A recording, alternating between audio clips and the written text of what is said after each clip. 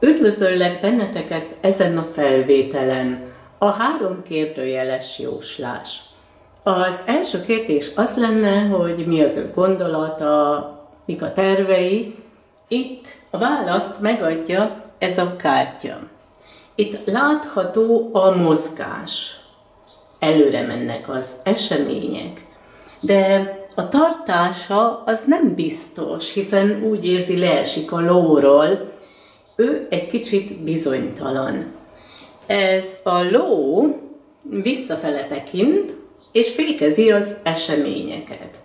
Ez a visszatekintés jelenti a múltat.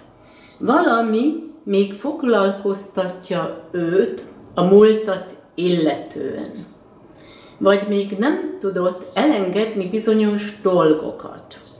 Ez egy átmeneti időszak, hiszen a múlt az még fékezi őt, viszont előre akar haladni, hiszen közeledik hozzád. Nem ül üres kézzel, hiszen itt a kezében van ez az arany kehely, ami jelenti az érzelmeket. Tehát érzelmekkel közeledik hozzád. A második kérdés az lenne, hogy érzi magát.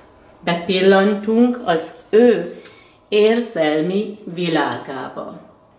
Itt te jelensz meg, mint egy királynő, tehát feltekint rád, megbecsül téged, és látható, hogy itt a kezedben van ez a kard, és az jelenti, hogy bizonyos dolgokat tisztázni kellene. A kommunikáció fontos.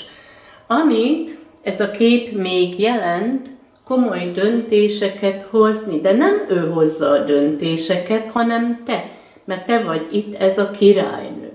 Tehát megvannak az elvárásai, hogy te jelentkezz nála, hogy döntéseket hoz, hogy kimond azt, hogy találkozni akarsz vele, hiszen fontos, hogy beszéljetek egymással.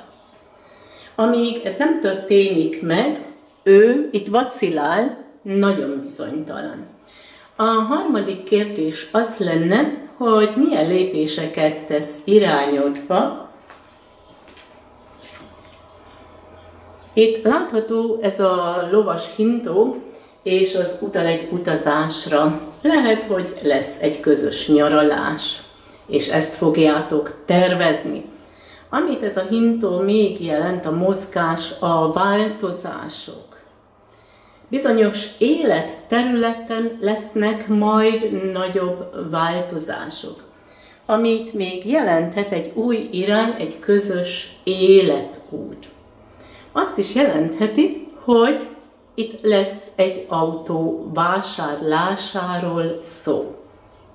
A kép itt középen azt jelenti, hogy mi köt össze benneteket. Ez a növény szimbolizálja a tartós párkapcsolatot. És ez a jövő, ez az ő terve, tehát ebbe az irányba halad ez a lovas hintó. És én kívánok egy szép napot, nagyon sok szeretettel Tenderá.